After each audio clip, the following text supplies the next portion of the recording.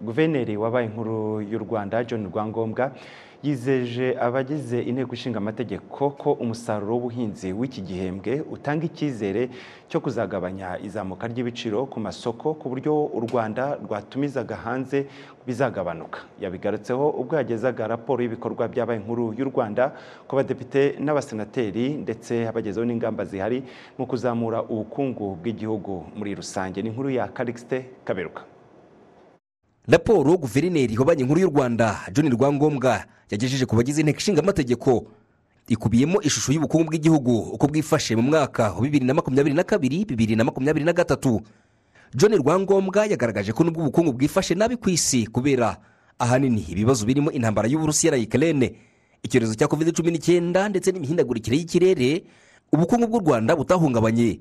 Ibyo bigaragazwa n'ubwiyongere bw'umusaruro mbumbe ku kigero kingana n'umunani n'igice kimwe ku ijana mu mwaka w'ingengo y'imari wa bibiri na makumyabiri na kabiri bibiri na makumyabiri na gatatu waturutse ahanini ku rwego rwa serivisi ariko icyo twishimira ni uko mu myaka ibiri ishize ubukungu bw'u rwanda bwakomeje kuzamuka ku gipimo gishimishije.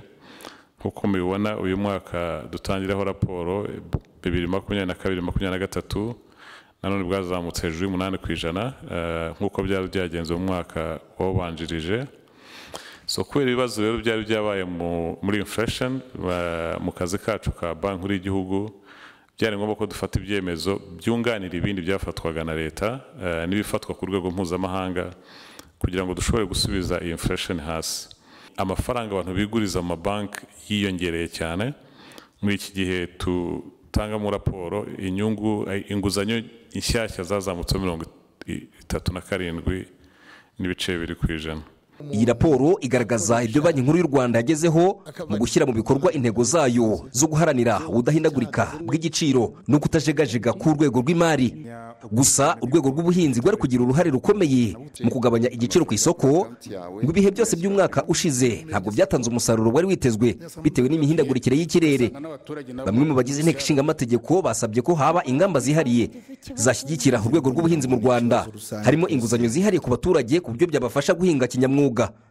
Ku bijyanye n'ubuhinzi bwo ngira ngo ni ikibazo rusange twese dufatanyiriza hamwe gushakisha igisubizo kuko hari gahunda yari ihari y'ubuhinzi bushingiye ku kuhira. Ku buryo abantu bashobora guhinga muri sezo zose ngira ngo hacyarimo ikibazo.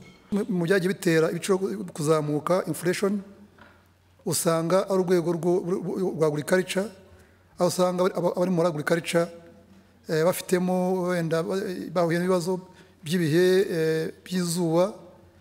Hariho nkashaka kubaza neza sapoti irimo yaba itangwa n'igihugu ku buryo wenda cyane cyane nka interest rate. Guhabwa inguzanyo abari muri agurikarica bakaba babona amafaranga. Bitabahenze cyane kugira ngo bagire na motivation yo gukora akazi kugira ngo in the end tuzongere tugaruke ku murongo ubukungu bwacu ikibazo cy'ibiciro twe twagihashye. Kuri guverineri john rwangombwa ngo raporo z'inzego zishinzwe ubuhinzi mu rwanda zigaragaza ko umusaruro wabwo uziyongera kubera ingamba leta yashyizemo.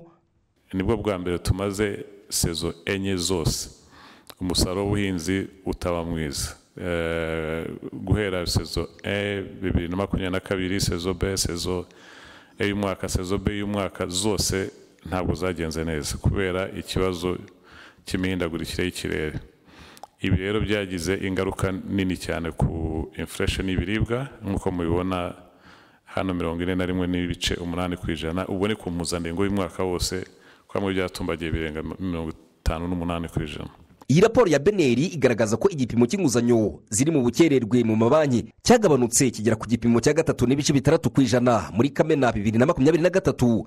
Kivuye kuri kane n'ibice bitatu ku ijana muri kamena bibiri na makumyabiri na kabiri. Naho ku rwego rw'ibigo by'imari biciriritse kigera kuri gatatu n'ibice birindwi ku ijana muri kamena bibiri na makumyabiri na gatatu. Kivuye kuri kane n'ibice birindwi ku ijana muri kamena bibiri na makumyabiri na kabiri. Banki nkuru y'u rwanda kandi ivuga ko yibanze ku kwagura serivisi z'imari. Iteza imbere ikoranabuhanga mu bikorwa bitandukanye. Icyakora umuvuduko w'izamuka ry'ibiciro waragabanutse ugera kuri cumi na gatatu n'ibice birindwi ku ijana. Muri kamena bibiri na makumyabiri na gatatu nyuma yo gukaza ingamba za politiki y'ifaranga zari zigamije kugabanya umuvuduko w'ihindagurika ry'ibiciro. Kalixte kaberuka mu mujyi wa kigali.